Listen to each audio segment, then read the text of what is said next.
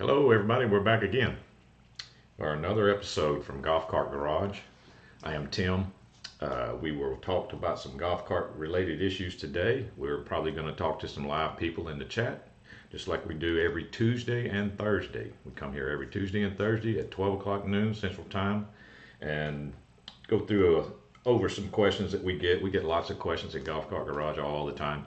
I am a member of the Gearheads on Demand service that is offered by Golf Cart Garage. That is a service that we offer where you can actually schedule an appointment call with me, with myself. Uh, if you're interested in that, click the link in the description. That will take you to the scheduling page. Uh, if the time slots are full, I mean, my, uh, my time slots usually fill up pretty quickly. So if all the time slots are full, just catch me here. Remember, I come here twice a week, Tuesday and Thursday. Try to catch me on live. Have your question ready. I'll see if I can see if I can help you. But if you, if you find a time slot, by all means, choose a time slot and I'll call you at, the, at whatever time you pick, whatever's convenient for you. I get notified automatically. It's an automated system, so uh, I'll be on time. And if you think it's a video, you can sign up for the video in the same in the same scheduling pages that you're looking at. You can uh, you can we can make it a video instead of a phone call, or you can just make it a phone call and we can switch it to video in the middle of the phone call if it's something that I need to see. Most of the time I don't need to see it, but sometimes I might. So we could do it either way. Let's see. We are live right now on Facebook and YouTube. And these are all the other social media links I'm running right now that you can follow us on. If you like this content, if you if you like coming here and talking about golf cars, as much as uh, myself and other people that come here regularly do. Okay, let me check over here just for a second. Looks like we're good. Looks like we're ready to go, ready to rock and roll here. So we're going to get started. Anybody in the live, feel free to participate anytime you you uh, you need to. Tell me how's the weather. It's still cold here. Still getting kind of still cool outside here. Question number one. Got an intermittent skip in the drive when applying the power can be eliminated when you nurse the power very gently. When at a standstill, if you demand power abruptly, it skips out and cart won't move. When running, skips intermittently if you demand abruptly. What do you think the problem is? Controller? Anything else to check? Well, you didn't tell me. You didn't tell me what kind of car you have, but because there's a an interruption when you hit it hard, you know, like what you're saying when you when you hit the power abruptly, it is either going to be it's either going to be you know that honestly a bad battery can cause that. A bad battery could cause that issue. A battery that's dropping out when you hit it hard that doesn't drop out when you go gentle, you know that that could cause that. Uh, another thing, it could be whatever type of potentiometer you're using. Like if it's a, if it's a club car we're talking about, it could be your MCOR. If it's an E-Z-GO, it could be your ITS. If it's a Yamaha, it could be your throttle position sensor. You know that's that's skipping out when you hit it abruptly. But the, the, the first thing I, I know I say this all the time, but I need to eliminate that being a battery issue first because a battery could cause that symptom. Ricky Smith, what's up, Ricky on YouTube? Glad you're here, man. Greg Elliott. Hey Tim, on uh, cold in Bristol today. I have pics to send you. Need your email. It is, my email is 00 Tim Freeman at gmail.com. That's my email. That's my work email. 00 Tim Freeman, F R E E M A N, dot com. At, I mean, I'm sorry, at gmail.com. Anthony Moore. What's up, Anthony? Hello, Gearhead peeps. Glad to have you, Anthony. Let me see what's going on here on Facebook. We got Charles Ferguson. What's up, Charles Ferguson? Tim, can you tell me the difference between a a series and a direct motor and how can I tell which one I have? I think what you're asking me, Charles, is the difference between a series wound motor and a shunt wound motor because uh, the they're both direct drive to the to the rear end. That's what they the word direct is used because it's direct drive. That means there's no clutches or anything. The motor bolts up on a spline shaft, you know, so there's there's no slack. I mean, that motor turns, the rear end's going to turn. But there's two different types of electrical systems. One of them is a series electrical system, and that would be in cars that do not have a run tow switch under the seat. And the other is a shunt wound electrical system. That would be cars that do have a run tow switch under the seat. Now those two electrical systems are going to have two different types of motors. One of them is considered a series motor and one of them is considered a shunt wound motor. If it, if it is a series motor, there will not be a speed sensor attached to the end of the motor. If it is a shunt wound motor, there will be a little black thing on the end of the motor with some wires that go and hook up somewhere in your golf cart. So that's how you can tell which one you have. Well, basically, look for a run tow switch under your seat. If you have a run tow switch under your seat, you do not have a series motor. You have a shunt wound motor. Hope that answers your question, Charles. Joe Foster on Facebook. Tim, good day. What's up, Joe?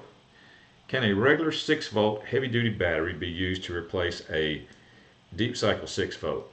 Well, it can, but I would not recommend it because it's not going to act like your other 6 volt batteries. But if you just needed to do that for some kind of testing purposes, then that would be fine just for testing, just to make sure that everything's. Uh, but don't don't use the cart and charge the cart expecting that to work on long, for long term. That would just be for testing purposes. But yes, it would work to get you out of a bind there. Let's see on uh, YouTube, we got Gary D. What's up, Gary D? I have a 95 Club Car Electric, same problem on start going, on start going. Any ideas? The batteries are good. Same problem on start going. Uh, Gary, rephrase the question a little bit. Help me out there. Uh, 95 Club Car. Okay. 95 you could have if not you say the batteries are good. All right that's cool. It does the solenoid click? You know would be my first question. When you touch the accelerator pedal with key on does your solenoid click? So we need to get to that point first. Envy nature girl what's up envy nature girl? I spoke with you on the phone. I spoke with envy nature girl. She gave me some advice on my internet. Uh, her and her husband. Good to talk to you the other day. Good morning tim. Thank you. Good morning to you uh, I haven't ordered my Cat 7 cable yet, but I think that's the route I'm going to take. I did check on what your husband told me about the T-Mobile stuff. And so far, it says that it's not available at my address. And I don't understand why, because I can see cell towers around me.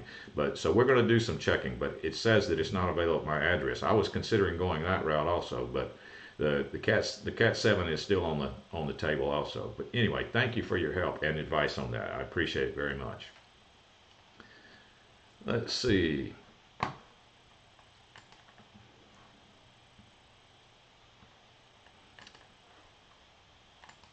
Where am I at here? Number two, that's where I'm at. Lost track. Oh, Gary says uh, he does, doesn't hear it clicking. All right. 90, let me tell you this, Gary. 95 is kind of a weird year for club car. Uh, do you know which potentiometer you have in that car?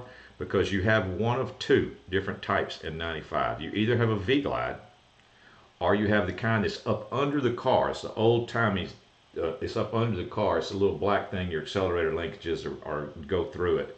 It kind of looks like an MCOR, but it's not because they didn't have MCOR in 95. They had what's called this uh, resistor type potentiometer that causes a lot of problems. In that potentiometer, there is a small micro switch. There's also a micro switch in the V-Glide. Both of those micro switches are in the chain of command for electricity flow to activate your solenoid. So if you and in 95, it's a possibility you got that weird potentiometer up under the car, which they only used for about a year and a half. So if that's what you have, then what you're going to need is probably an M, uh, it's called a pre-MCOR to MCOR conversion kit. You're going to have to convert your car to MCOR because that one's not available anymore. That old one's not available. Number two. Hi Tim, I have a 2004 48 volt DS car. I think the motor controller is bad. I have put a new OBC and a new solenoid, new battery. The motor will run on 24 volts when it all hooked up. The solenoid gets hot. The controller is a Curtis model. It looks like it got hot. Has the controller gone bad? Thank you for your help.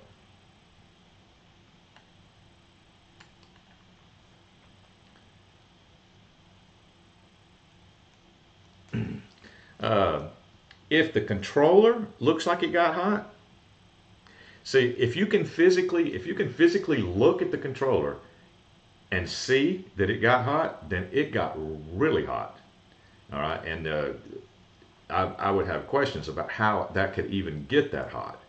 Uh, th there's only one way I know of that you can get one that hot, and that would be to tow the car with the run tow switch in run that will get that controller that hot to where it will physically deform. So if you're looking at that controller and you can tell that controller got hot, then oh yeah, I'd say it's bad. And you probably got a lot of other things bad too. Because uh, if uh, if it got that hot, it could have it could have been uh, because someone towed the car with it and it's still in run, and that could have fried the motor controller and it could even hurt the batteries too. So I'd have more questions about that one. Gary D says I have micro switches. Well, what do you mean, Gary? You talking about? I'm talking about on the uh, up under the car. I'm not talking about on your forward and reverse switch. I, I understand you have micro switches on the back side of your forward and reverse handle, but I'm talking about up under the car. What type of potentiometer do you have? It, you're either going to have V-Glide that's you you can see the V-Glide by raising the seat. The V-Glide would be under the back side of your charging receptacle, straight down below it. That would be, and it would be a, a black triangular box about that about that big. That would be the V-Glide with a lid on it that's removable.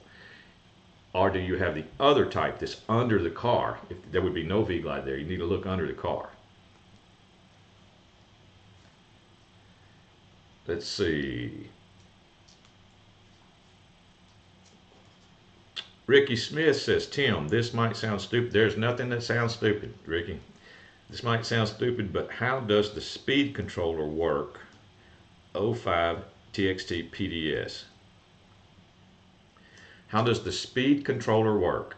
Well, I don't know how how complicated of an answer do we want to do we want to try to, to go there? Well, it is the speed controller is full of diodes, all kinds of diodes in there. That's why when they blow up, they smell like they kind of smell it put off a smell. It smells like rotten eggs when a, when a, when a controller burns up. It's because when a, that's what a diode smells like when it pops. But there's full of diodes in there, and uh, the the simple thing is that it receives a signal. It has an input side of a controller has an input side. It receives a signal from whatever type of potentiometer your electric vehicle has. This is not just golf carts. This is in general. This is electric cars, uh, uh, you know, all electric vehicles. They have some sort of potentiometer that sends a signal to the controller. Depending on what that signal is, the controller outputs amps and voltage to the motor to make it turn. That's the simple way to look at it. Gary D says he has V-Glide. All right.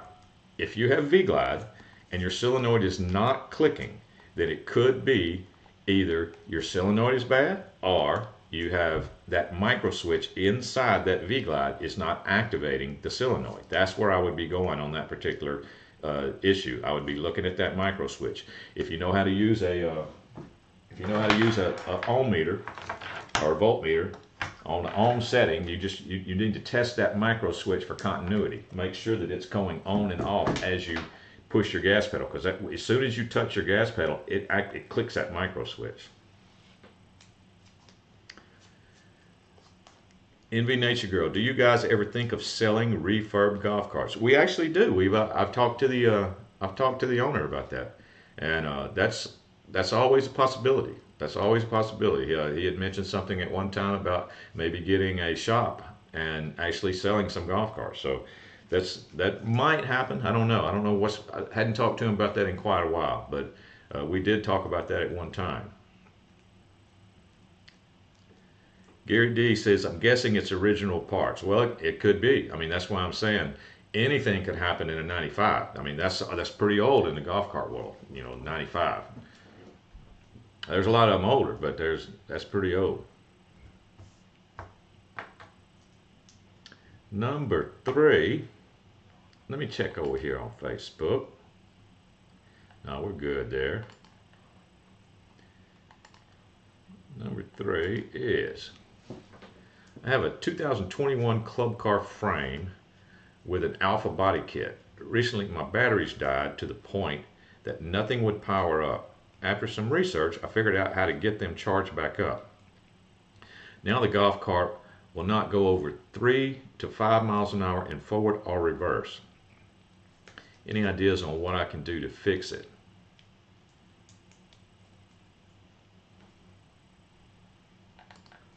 Well, if your batteries are fine, you know, you didn't tell me what your battery readings are when you say they're fine. I mean, because, you know, if your batteries were extremely low, that could cause that too. Uh, if you're sure your batteries are fine, then my guess is that you have an unrelated problem, which would be the speed sensor. It sounds like you have a speed sensor issue if everything was working before. Because uh, three to five sounds like the car's in limp mode, and that, that could be a speed sensor issue right there. So, does your car have a run tow switch? If it does, then I would be I would be focusing in on the speed sensor on the end of the motor. I'd replace it. They're not very expensive. I'd just replace that speed sensor. Let's see. Gary D says, thanks for the information. No problem, Gary D. It's, uh, it's actually good, Gary, that you have V-Glide.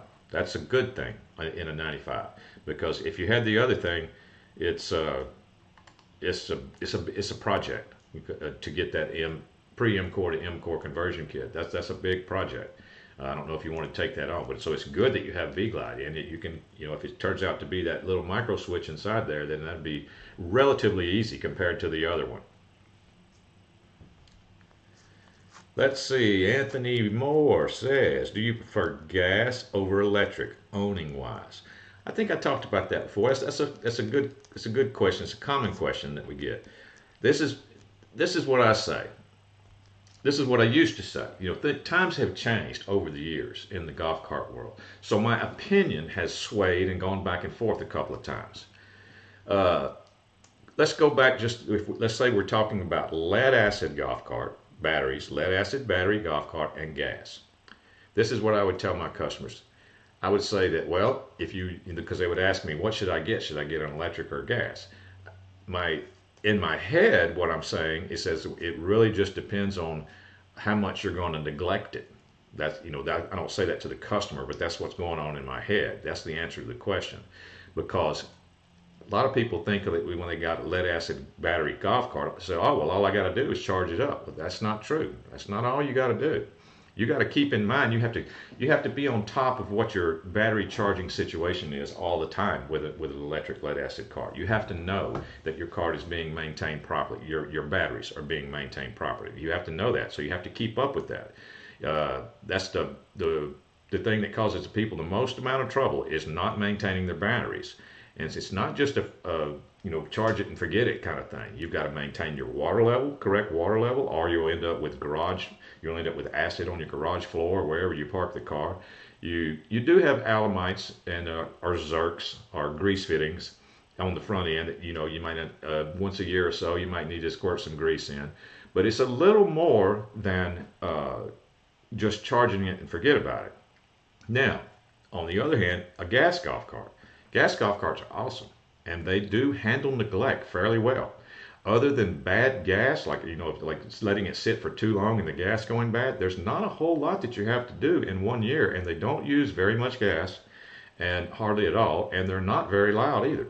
So if you're in a community or you're in a situation where you are going to neglect your golf cart for long periods of time, and you want it to work when you come back and you step on the gas pedal and you take off and go, gas might be the answer for you. Uh, now that was lead acid. Now that lithium is taking over, things are kind of changing a little bit.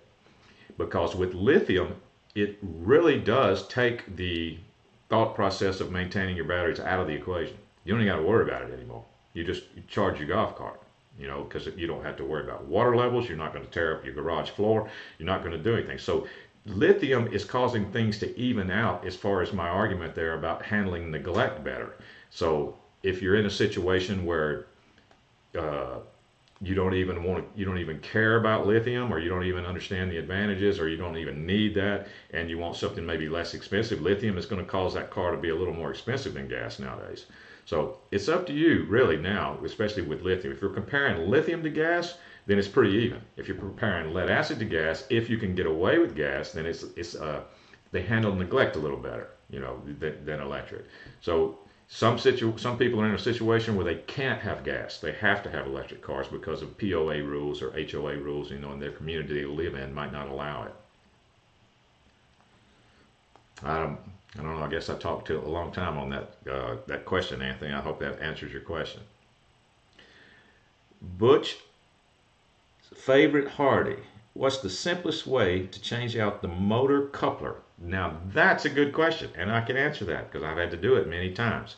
The, the, the coupler, what he's talking about is that the coupler on the end of an electric motor, you look at it and you say, well, how in the world do I get that off of there? You know, I, I don't know how to get that off. You can't, I can't find a puller that goes in there and goes around it. So this is how you do it. I'm not, I, in fact, I think, I don't think I've ever talked about this on the air. So that's, that's a, this, that's the first time that that question has been talked about on the air. That motor coupler is pressed on. It is just pressed on. It's not welded, it is pressed on. So the way you get it off is you you have to go to a welding shop or you have to either weld yourself or you have to know somebody that does. What you do is you take a big nut, like a, a, a probably about a one inch nut, and you're going to tack that onto that coupler. You're going to tack it right onto the top of the coupler. Just tack it in about four or five spots. Then you're going to take a bolt that will go through the nut and run that bolt down down the nut until it bottoms out. And what that's doing, it's going to pull that it's going to pull that coupler off. That's how you do it. It's that simple. Uh, just a couple of tacks of a nut on on that coupler, and then run a bolt through it, and then it's done. And it, it, obviously the coupler's toast anyway, so you, you're not going to hurt anything by you know by by welding on it. Let's see. Ricky said the speed sensor. Sorry, I meant the speed sensor. What was that you asked about? The speed sensor work. Well, the speed sensor is basically just a magnet, and what, what that magnet is, it's monitoring revolutions of the motor. And that's only in that type of electrical system that that is necessary to have a speed sensor. In a, in a, PDS has a shunt wound electrical system. You got, uh, we talked about that earlier, series wound electrical system and shunt wound all shunt wound electrical systems have a speed sensor on the end of the motor, and it's a magnet that's that's reading pulses from the revolutions of the engine. There's a there's a big magnetic field that, that the motor produces back there. So a lot of that's why a lot of times stereo installations don't really work out like people thought on golf cars because as soon as they hit the gas pedal there will be interference in the stereo. That's because of all the magnetic field that's being generated that you don't even realize until you start trying to run electronic things close to it. Mason Grove, what's up, Mason? Hey, Tim from Minnie. Sorry I'm late. Ah, no problem, Mason. I'm glad you're here. Glad you got it. Glad you made it here. Let me see.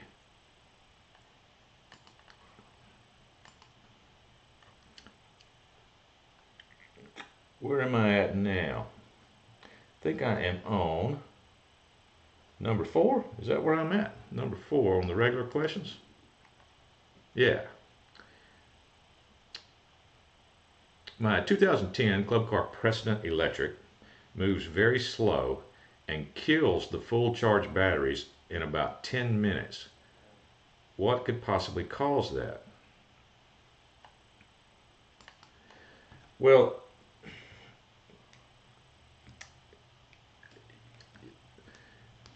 your batteries, I, would have to ask questions like how old are your batteries first? That would be my question.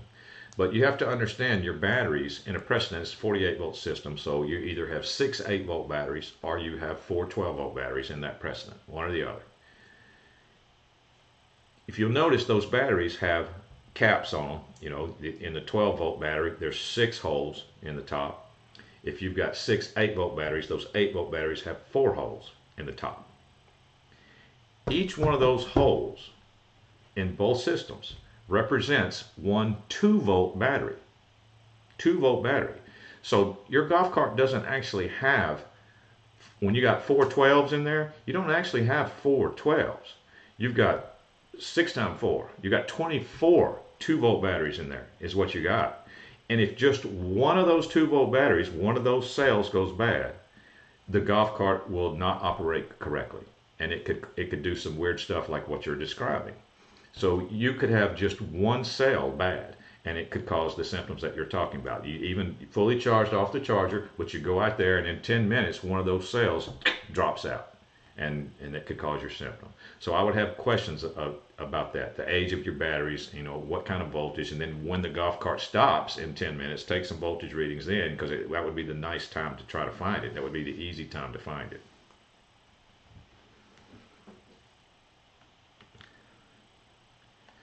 Number five.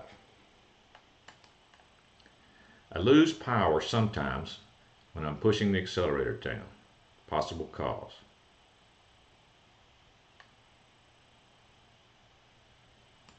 Um, not a lot of info. Not a lot of info in that question for me to go on there. Uh, uh, we talking? If I'm assuming we're talking about an electric car, so uh, I've said this probably uh, 50 times, but you know over these these episodes. But uh, battery readings at the time of failure is what I would need. That would be the easiest way to to eliminate that at the time of failure. So when you lose power, I want some battery readings then, right then. Number six, but I'm going to check over here first. Now I'm good there.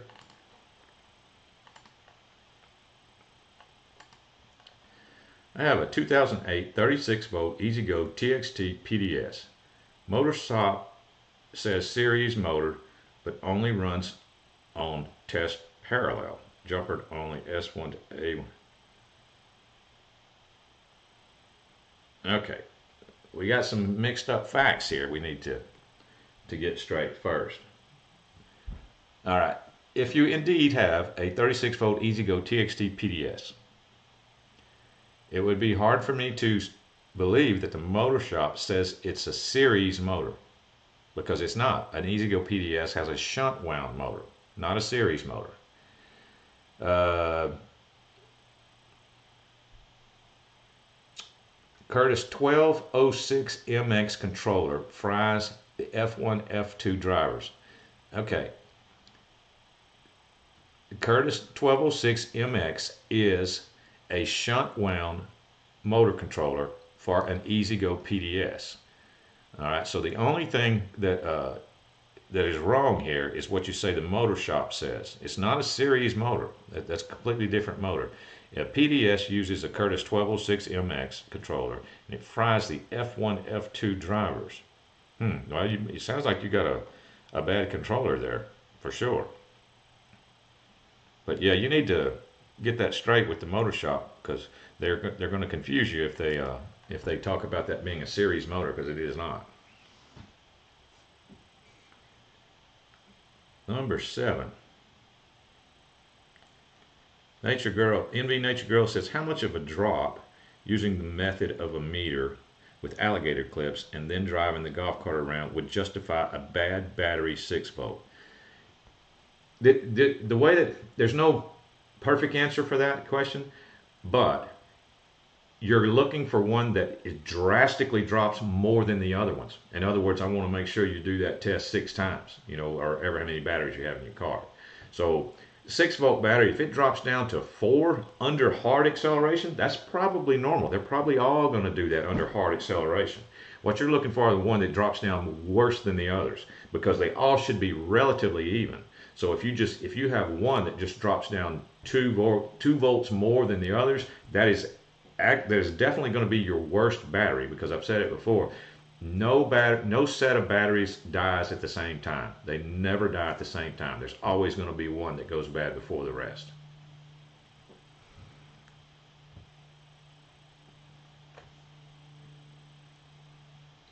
Number seven, Yamaha 2014 gas Motor keeps running after turning off. Have to disconnect battery cable to stop it. Someone told me it could be the start stop relay. Any ideas? Yeah, the, I haven't had the first place I would be is under that floor mat because on the Yamaha, if you take that floor mat up, which is relatively easy on a Yamaha, uh, it's easier than the other two brands of golf carts. It's, uh, the, it's easier than Club Car and E-Z-GO take the floor mat up. You take the floor mat up on a Yamaha, there's a there's an access panel under the floor mat, and you don't even have to have any tools to remove it. You just take the access panel out, and you'll be able to see your accelerator pedal linkages, and you'll be able to see the pedal stop switch. Now, it sounds like to me that your pedal swap, stop switch has has closed on you or and it's not releasing when you release the gas pedal. you know what I've seen? I've seen this on a Yamaha. That pedal stop switch is in a bad spot. It can actually get sticks hung up in there and cause some problems. So yeah, take the floor mat up and check that area out. And after, if you don't see any debris like sticks or there's causing you, operate your accelerator pedal and watch how it acts with that pedal stop switch, and you'll see what I mean. And you might have to ohm out that pedal stop switch and make sure that it's uh, functioning correctly. I would bet it's not.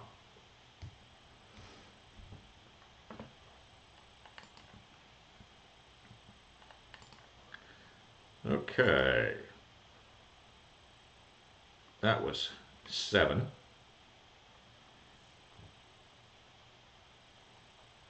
Number eight. I have an E-Z-GO older model 36 volt cart.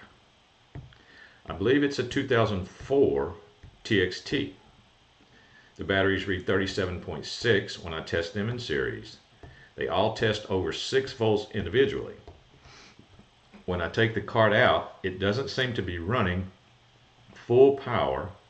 And after a short period of time, the cart loses power and I can't climb small inclines.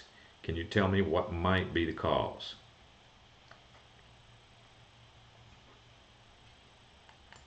Most likely it's one of two things.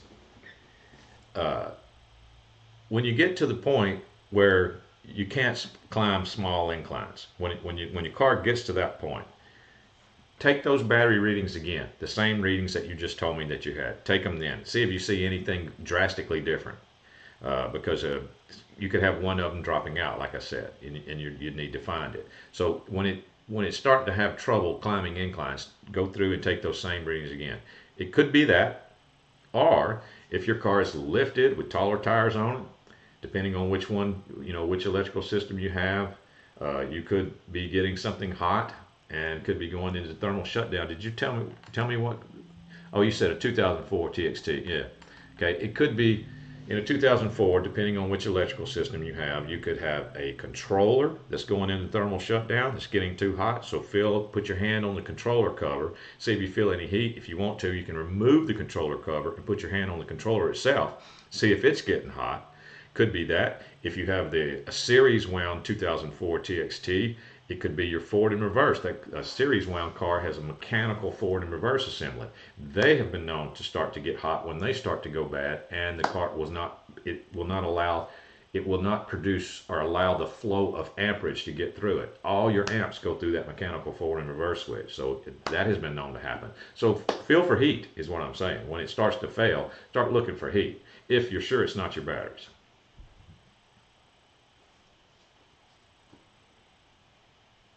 Let's see.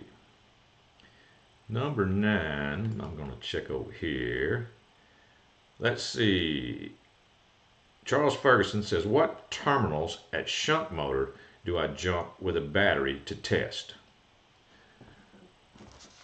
You, you jump, let me see here. See if I got this right here. I thought I had that on my desk because I didn't want to say anything wrong there. Tell you what, Charles. Let me. Thought I had that sitting right here on my desk. No, this is for a series motor I had on my desk. And a series is an A to an S, you know, and then the other two terminals you put 12 volts to. But a shunt motor is different. You you make two you make two jumpers on a shunt motor. Like you make, uh, I believe it's A to an F, and then A to an F, and then you put 12 volts to those too if I'm not mistaken. But I tell you what, I bet if you plug in shunt motor testing and you'll you'll you'll come up with that test real easy to make sure because I don't want to tell you wrong on there, Charles. But yeah, there is a way to do it. There is a way to do to jumper a shunt motor and put 12 volts to it.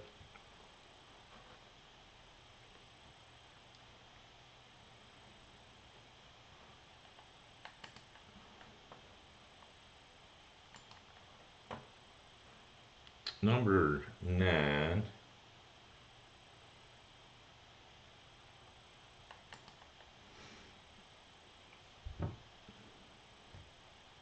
Let me see what Ricky says here. Ricky Smith says, the reason I ask about the speed sensor, when I installed a speed chip on mine, stock controller, it only increased the flat land speed one mile per hour. Wondering if it could have been something to do with speed sensor. Uh, that's if it did, that's not a symptom that I have seen. And since you brought that up, since we're talking about that, there's a lot of misconceptions about those chips for PDS cars. You know, PDS cars has a like four different chips available that you can get. They call them chips. It's the first misconception. That I don't know why they call them chips when it's nothing but a plastic plug. There's nothing electronic about it whatsoever. So I don't know why they call them chips.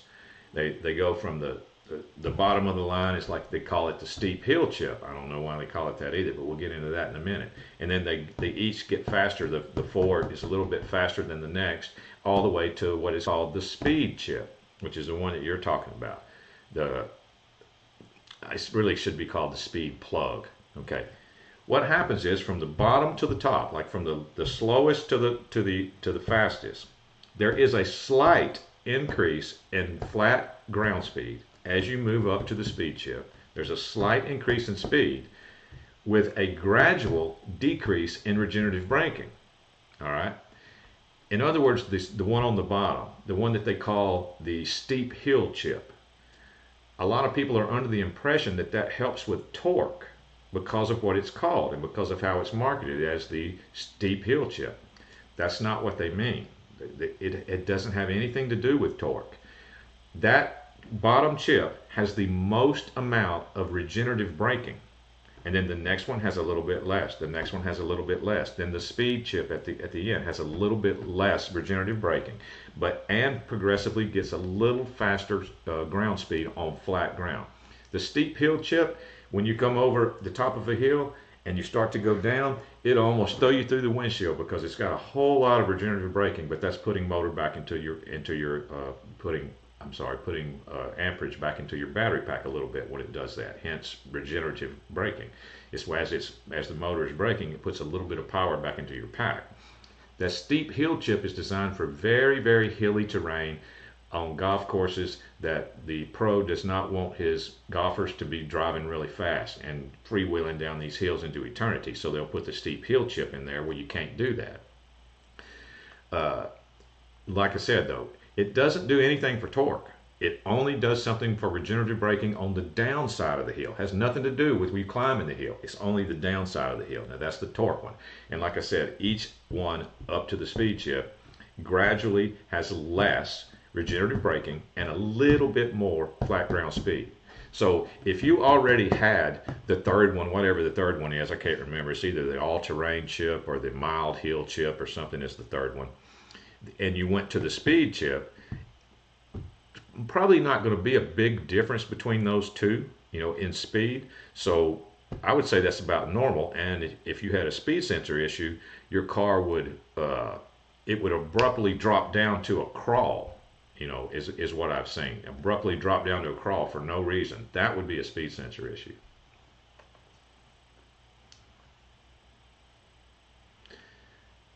All right, we got a couple more. Keith E, what's up, man? On Facebook, still watching in Palmetto, Florida. Cool day, only 71 degrees but sunny. Great job. Thank you, Keith. Thank you for coming, man. I appreciate you being here. I appreciate you participating. Uh, Ricky did, did Ricky says it didn't have any plug at all. Well, that's actually considered one of the plugs uh, one of the four is no plug at all. It, they actually make a plug. Believe it or not, they make a plug that uh, that's I think that's that's the all-terrain setting. they make a plug that has no wire jumper. You know how three of them have a wire jumper? Well, there's one of them that has no wire at all. It's just a plug to take up the hole that is in the controller there where it plugs in. So that's actually considered the all-terrain chip when you have no plug at all. That may be the third. That may be the third one. You know, in line.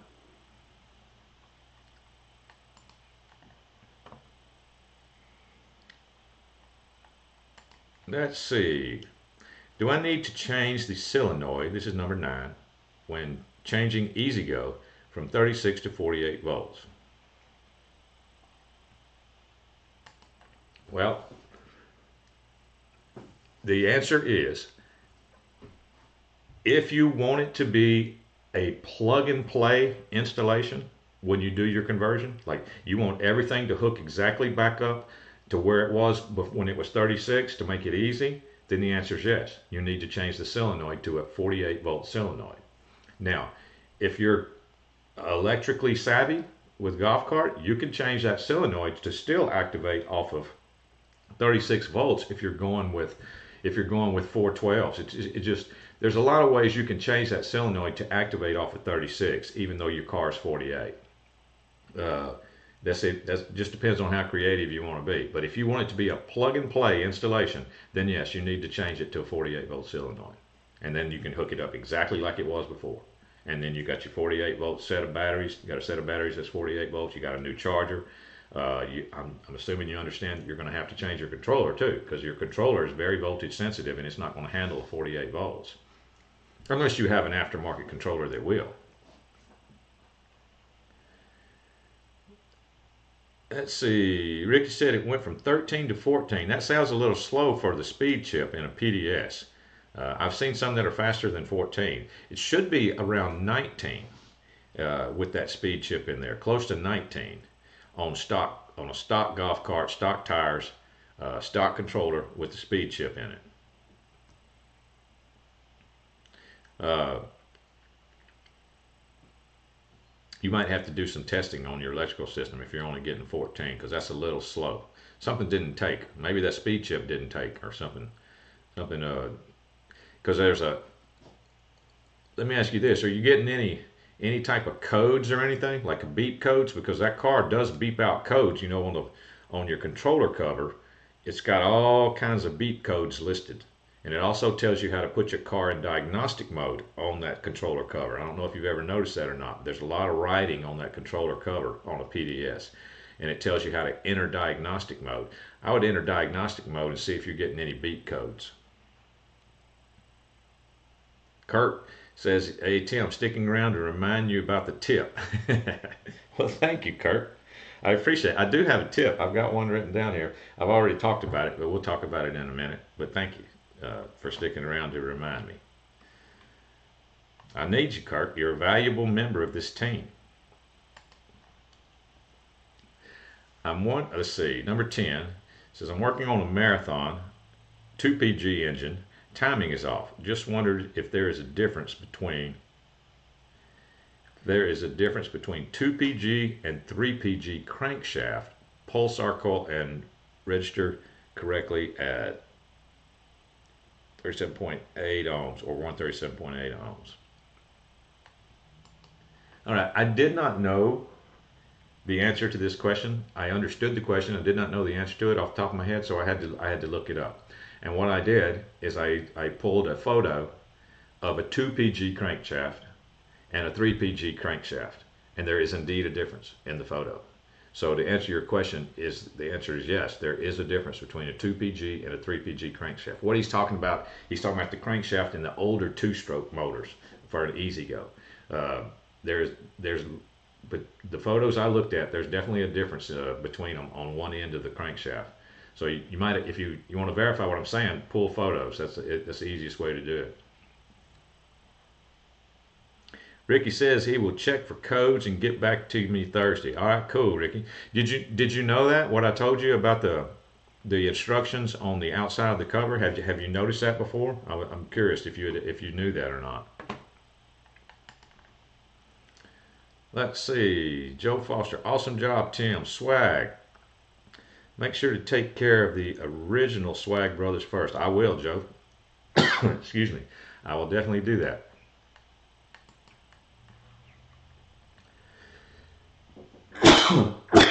Hmm.